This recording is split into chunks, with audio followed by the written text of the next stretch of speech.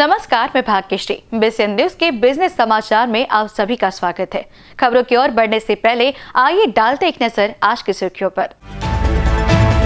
उत्पादन तीन दशमलव तीन प्रतिशत कम, सात साल बाद चीनी निर्यात पर रोक की तैयारी।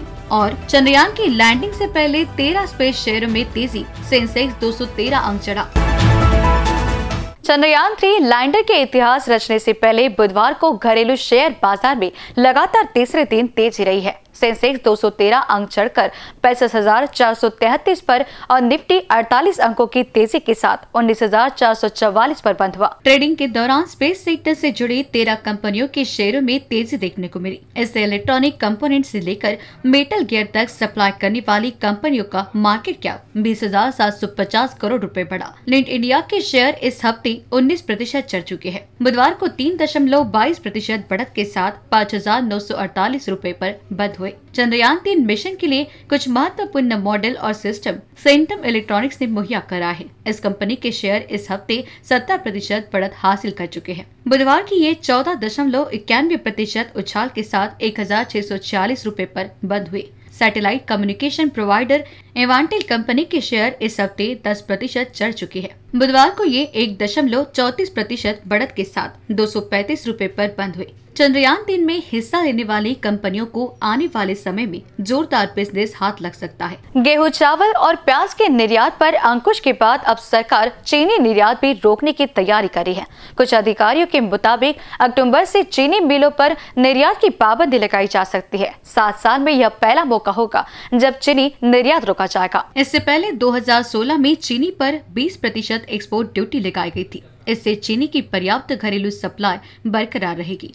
बहरहाल 30 सितंबर तक इकसठ लाख टन चीनी निर्यात की अनुमति है। दरअसल, देश में चीनी के कुल उत्पादन में करीब आधी हिस्सेदारी महाराष्ट्र और कर्नाटक की है। लेकिन इस साल इन राज्यों में मानसूनी बारिश औसत से 50 प्रतिशत कम हुई है। नतीजतन चीनी का कुल उत्पादन तीन दशमलव तीन प्रतिशत घट कर इकतीस दशमलव सात लाख टन रहने के आसार है। विदेशी बाजारों की जारी गिरावट के बीच स्थानीय स्तर पर मांग सुस्त रहने से बुधवार को दिल्ली ठोक जींस बाज़ार में खाद्य तेल समेत सभी जींसों में टिकाव रहा। वैश्विक स्तर पर मलेशिया के बुरसा मलेशिया डेरिवेटिव एक्सचेंज में सितंबर का पाम ऑयल वायदा 45 रेटिंग गिरकर 3,812 रिंगिट प्रति टन पर आ गया। इसी तरह सितंबर का अमेरिकी सोया तेल वायदा शून्य दशमलव चौतीस सेंट की गिरावट लेकर इकसठ दशमलव छियालीस सेंट प्रति पोर्ट बोला गया।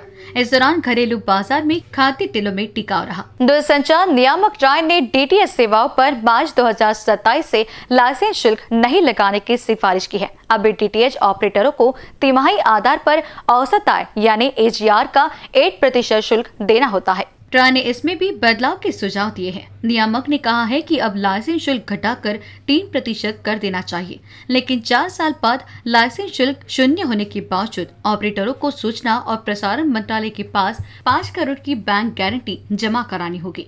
लाइसेंस शुल्क और अन्य बकाया का भुगतान सुरक्षित करने के लिए बैंक गारंटी ली जाती है। सीबीआई ने वरुण इंडस्ट्रीज़ के खिलाफ दो बैंकों के साथ तीन सौ अठासी करोड़ रुपए की धोखाधड़ी का मामला दर्ज किया है। इस कथित धोखाधड़ी से सेंट्रल बैंक ऑफ़ इंडिया को दो करोड़ और कैनरा बैंक को एक करोड़ रुपए का नुकसान हुआ है। सीबीआई को मिली जानकारी के मुताबिक वरुण इंडस्ट्रीज़ ने पैकिंग क्रेडिट लिमिट का इस्तेमाल कर बैंकों से पैसा लिया, लेकिन इसका इस्तेमाल गलत तरीके से किया। ये पैसे स्टील और किचन वेयर आइटम के निर्यात के लिए थे। इस समूह ने दुबई स्थित अलराड इंटरनेशनल ट्रेडिंग और white impact general trading LFC नामक अपनी दो कंपनियों के ज़रिए ये फर्जीवाड़ा किया है। कंपनी के डायरेक्टर्स कैलाश अग्रवाल और किरण मेहता के खिलाफ शिकायत दर्ज की गई है। Bureau report, BCN news. खबर समाप्त करने से पहले आइए डालते एक नज़र आज की सुर्खियों पर। उत्पादन तीन दशमलव तीन प्रतिशत कम, सात साल बाद चीनी निर्यात पर रोक की तैयारी। और चंद्रयान की लैंडिंग से पहले तेरह स्पेस शेयरों में तेज़ी, सेंसेक्स 213 अंक चढ़ा। बिज़नेस समाचार में फ़िलहाल इतना ही। ताज़ा खबरों के लिए देखते रहिए बेसियन न्यूज़। नमस्कार।